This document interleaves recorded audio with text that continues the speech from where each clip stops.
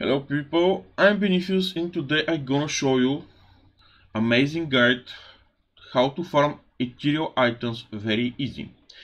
I see the guide in Bulgarian Diablo 3 forum and the user is the Peanut, he's amazing player.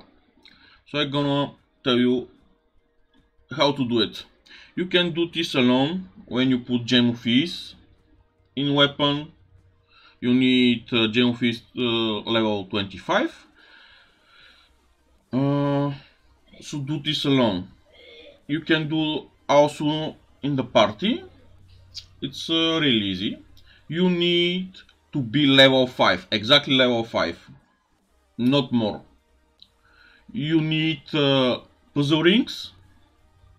And when you are level 5 you open the puzzle ring and go go to the boss.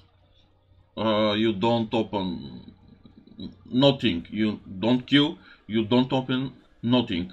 You just go to the boss and you kill the boss. You can do this alone or with party members. They this uh, this uh, little exploit affects also the other party members. They they don't need to be level 5 so when you kill the boss, uh, you can get one or three ethereal items. So you can do this again and again and again. But the game need to be level 5 Torment 6. Exactly, level 5 Torment 6. Uh, in the next video, after I finish uh, here, you're gonna see how I do it. I do it alone. Uh, I do it with a friend, I'm sorry, but you can do it alone with gem fees. But you don't put the weapon before you enter the boss. Because if you kill something, you're gonna get uh, levels and the game gonna change. It's not gonna be level 5.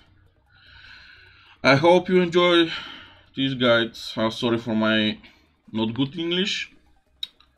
I hope I help you because this is 21 items 7 different characters and if you make mm, if you want to make this achievement for the transmog or just for the challenge and you don't do this uh, you're gonna spend a lot of hours.